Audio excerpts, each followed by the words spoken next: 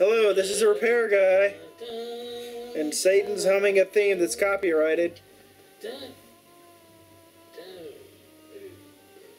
Come on, man, you own all the lawyers.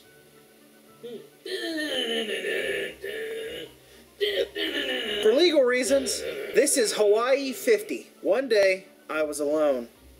My parents had just bought a new house. I was watching TV, and all of a sudden I heard a ghost walking through the kitchen. I quickly rolled under the couch. As I looked behind me, I saw the said ghost. I got from under the couch and ran into my room, and I slammed my door. I picked up my cell phone and called 911. When I didn't know was another ghost was under my bed breathing heavily very hard. I talked to the police officer and he said, I will be there in three, two, one. But when he burst the door open, the ghosts were chasing me around the house. One of them bit my leg off and I screamed in horror.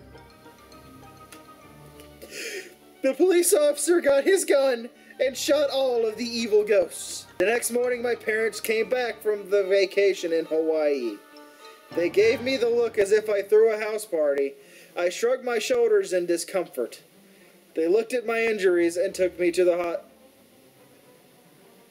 took me to the hospital. Well, yeah. He bit his leg off. He should go to the hospital.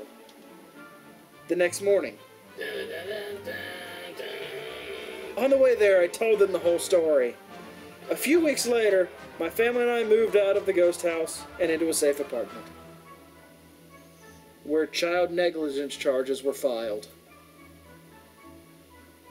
and the police officer lost his job. Cat! On the bright side, reading that story qualifies as one of the circles of hell.